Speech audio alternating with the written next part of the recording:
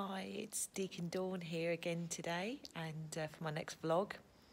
As you can see, I'm, um, well, maybe you can't, I'm in the sanctuary, but it looks very, very different now. Um, it's all ready and set up for um, Sleeping Beauty, our pantomime um, with the Lantern Arts Centre this week. Uh, we had opening night last night, which went really, really well after lots and lots of rehearsals and dress rehearsals.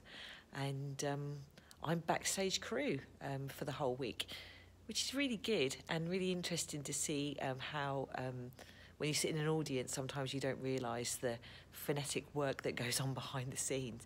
So it certainly opened my eyes to, uh, to what the crew get up to.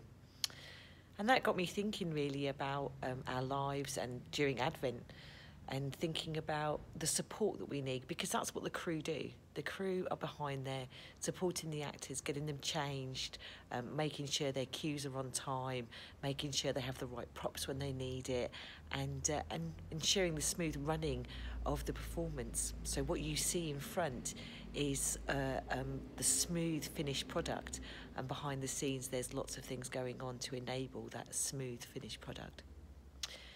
So how do we, this time in, in, in Advent, actually, what are our crew members?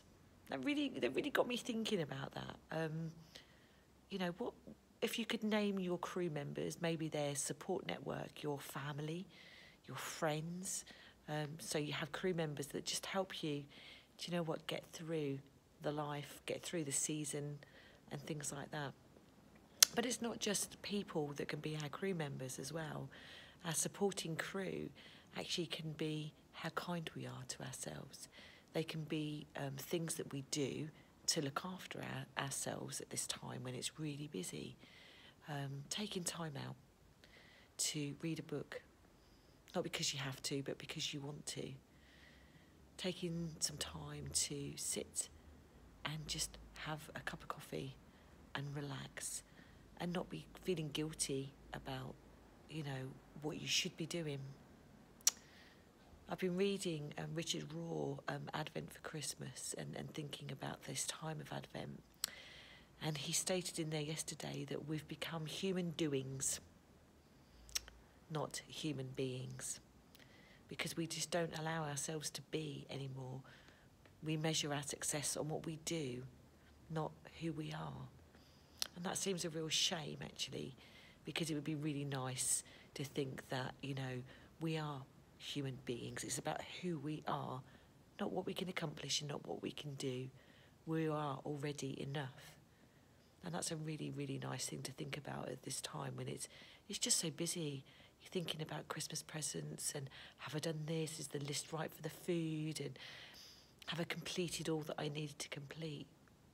Instead of just being you and allowing this time to to really speak to you.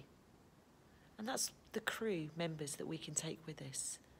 The thoughts, the good things that we know we should be being, you know, rather than the doing side of everything. I still haven't figured out all of who my crew members are in terms of things. I know that they include meditation, they include prayer, they include being kind to myself, having a glass of wine in the bath. They're the crew members that we need in our lives to help us and support us to get through, as well as our family and friends. So, this is all for today, and uh, I shall give you another update um, towards the end of Advent as we move into um, the Christmas season. So, take care. God bless.